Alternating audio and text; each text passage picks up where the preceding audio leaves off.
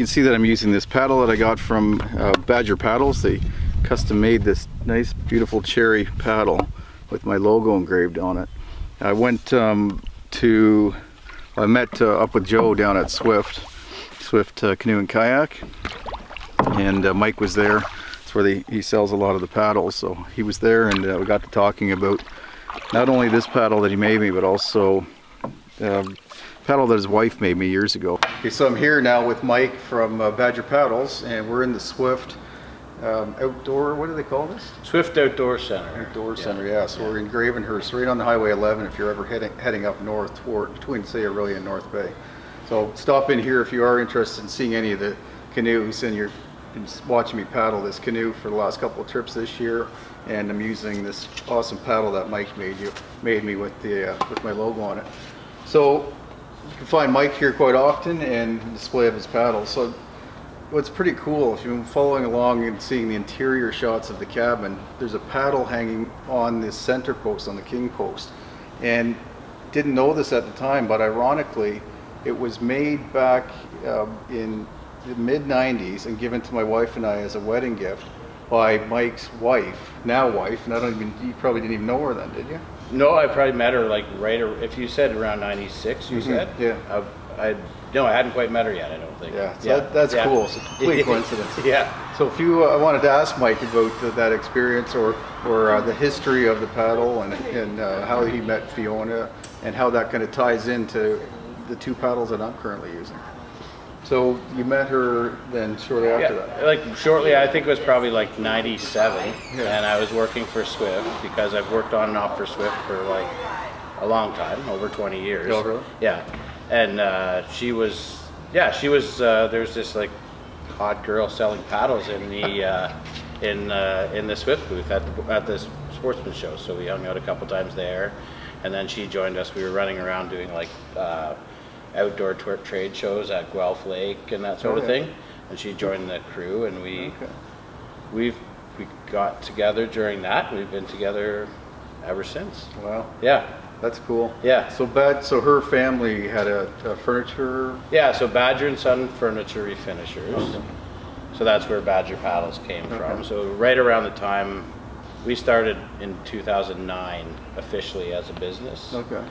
So this is our 10th year this year. Okay. Yeah, and uh, that's right around the time my father-in-law was uh, wrapping up his furniture refinishing business, and he was the third generation in that business. So Badger actually is a family name on Fiona's side. Okay. So he was pretty happy that we carried on his woodworking business, and we kind of changed it into something slightly different. But like even our our finishing process all came from him, oh, yeah. part of that business. So yeah. yeah. So it's all paddles now.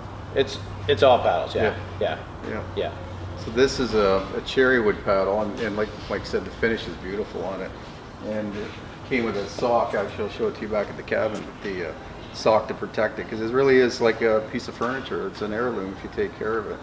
So, yeah. and then it feels like the oil finish.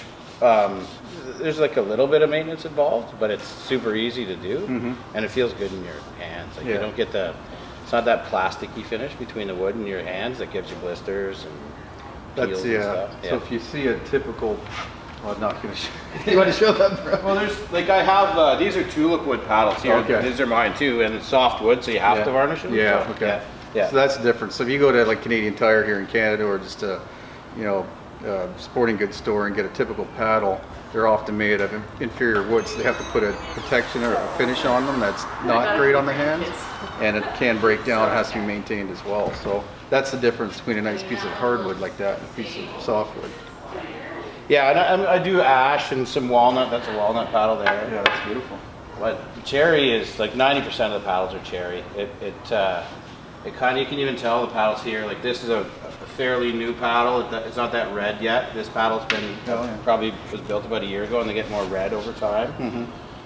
It's pretty light and tough and holds up well and it really works well with the oil. So yeah, I like cherry. Yeah, it's yeah. beautiful wood for yeah. sure. It is quite, uh, quite stiff yeah. and strong. Yeah.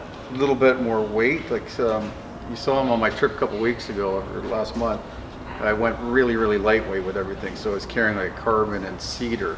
Paddle, which the cedar is extremely light but not durable at all. Like the handle was getting pitted just from my hand use or Yeah. touching it off anything. Yeah. So it became quite uncomfortable. These things will last forever and they're rock solid. So it's pretty cool. Yeah. So nice to hear the backstory of, uh, of uh, this paddle that I've had actually in my family for 23 years now, and I had no backstory to it un- until I met Mike, or I happened to look at the signature, her signature on it. I guess my wife looked it up. I was gonna ask how you figured that Yeah, out. that's that's I think how she found that, and Yeah. kind of did did some searching on Facebook. That's the thing. Yeah. Everybody's visible now Yeah. and made that link. So yeah, pretty cool to tie them together.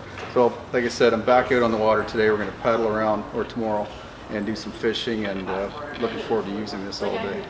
Thanks for watching everybody and I'll see you right on the water next time. Take care.